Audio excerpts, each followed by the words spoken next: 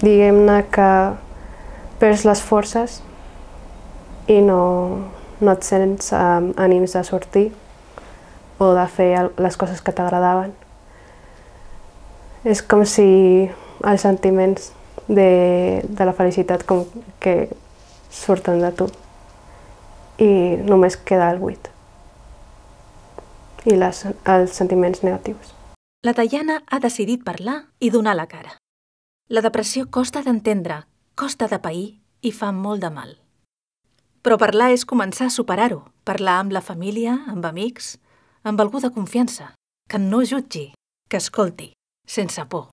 A part dels fàrmacs, s'ha de poder escoltar. I eh, quan un jove se sent entès, sent que li parlen d'ell, que li parlen de les seves emocions, que li parlen de les coses que li passen pel seu cap i de les seves preocupacions, llavors a partir d'aquí no torna enrere.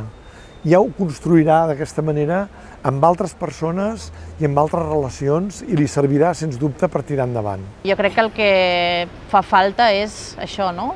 poder-ne parlar d'una forma molt més natural, no? Mentre estic fent la truita, doncs poder estar parlant de salut mental sense que suposi la gran conversa d'anem a parlar, sinó pues igual, pues el mateix, no? O sigui, igual que parles de haig d'anar al dentista o, o, o em vaig a fer un, una analítica perquè últimament sento que, no sé, que no tinc energia o el que sigui, doncs jo crec que la salut mental forma part de, de la salut i se n'ha de parlar de forma natural, és que, és que és així.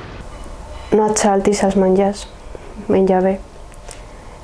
Eh, encara que és difícil, eh, cuida la teva higiene i surt el més que puguis només per donar una volta.